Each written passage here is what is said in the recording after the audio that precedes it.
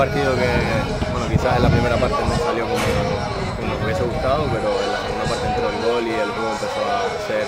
como,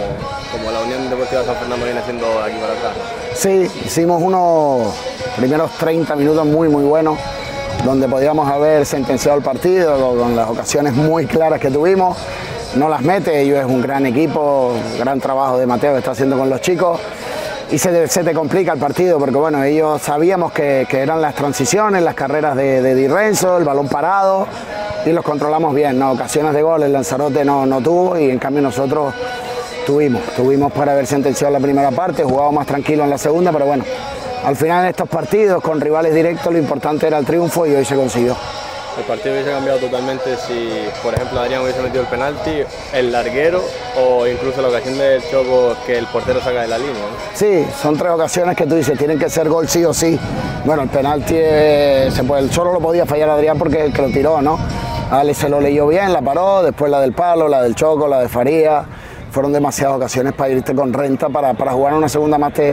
más tranquila, ¿no? Y ellos arriesgar un poquito más, pero bueno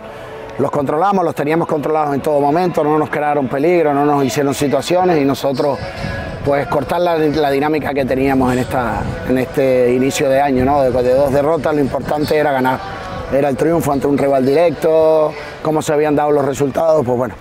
colocarnos ahí arriba otra vez, con el calendario que tenemos, pues bueno, era importante y lo hemos conseguido. Cómo se han dado los resultados, nos colocamos otra vez líderes, pero bueno, viendo todo lo que queda todavía de temporada es algo que Sí, como lo dije cuando éramos campeón de invierno, todo eso es anecdótico, ¿no? Hasta que no queden tres, cuatro, cinco jornadas,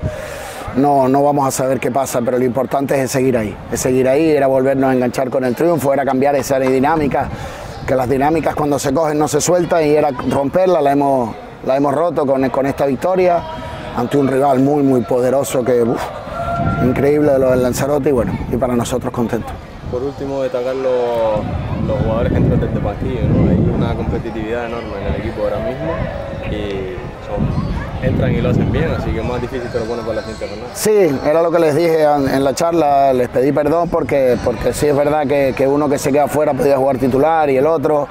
decidí por un 11 como siempre decido, me equivocaré seguramente que me equivoco, pero bueno, ellos salen, los que están en el banquillo están enchufados, yo creo que tenemos un grupo enchufadísimo y ese es el secreto de ellos, que no sean por vencidos, confían y, y es el secreto de este equipo. Perfecto.